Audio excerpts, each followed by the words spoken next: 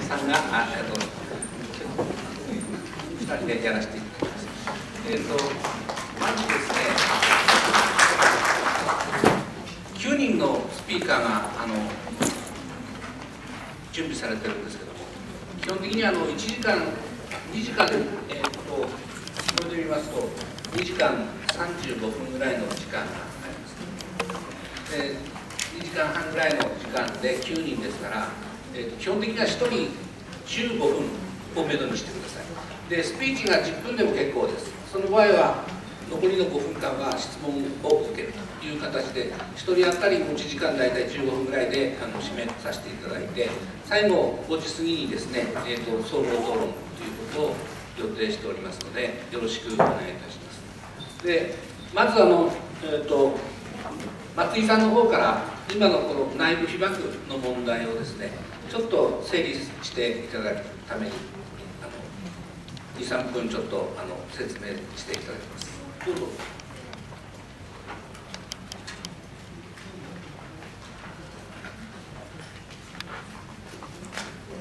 政府と申しますかあの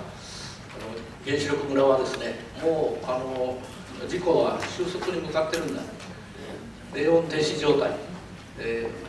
ー、だからもう大丈夫なんで戻ってこいと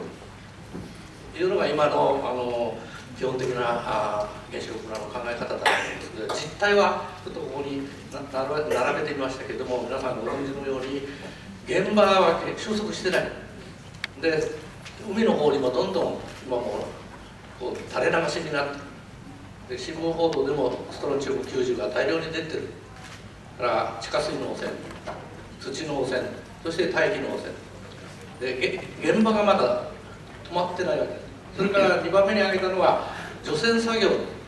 でこれはもう1兆円ビジネスとも言われてますが大手のゼネコンゼネコン。原因を作った、まあ、一角を占めてる。原子力の一角を占めるゼネコンがここでまたあの懐に金を入れようと。税金を自分の方へ流入させようと。これは除染で乗り出してきて実際作業をやるのはここにもいらっしゃると思うんですが汚染された地の、えー、方々が実際は仕事をやらされてる非常にずさんな防護のやり方でやらされてる。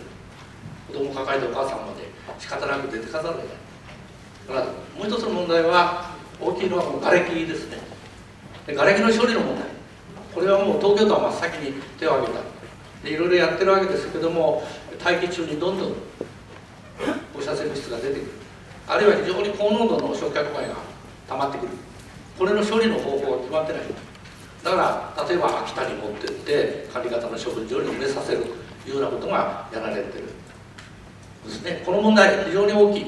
汚染を全国に広げていくだから福島の方々の声を聞いてもですねそう日本列島全体を汚染させてほしくないんだ。それから4番目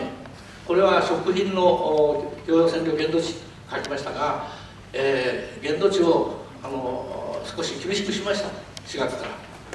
ところが米と牛肉は9月まで据え置き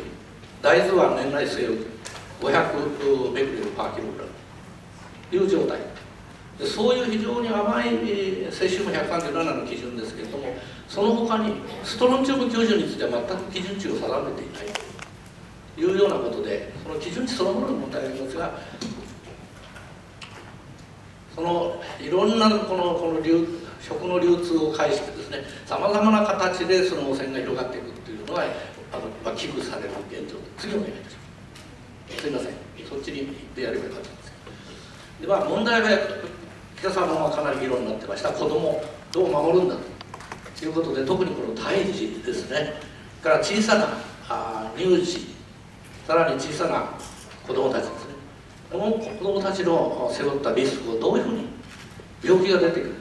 どうやって早く見つけて命を助けるのかっていうようなことも非常に大きな課題になってますし現にさまざまな形であの汚染された地ではですね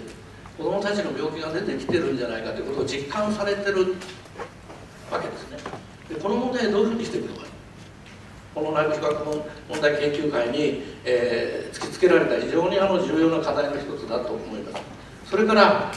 じゃあどうやって守るのかっていった時に、えー、北アルプスと中央アルプスのところで2桁ぐらいガタッと線量が下がるんですね。積算線量が下がる。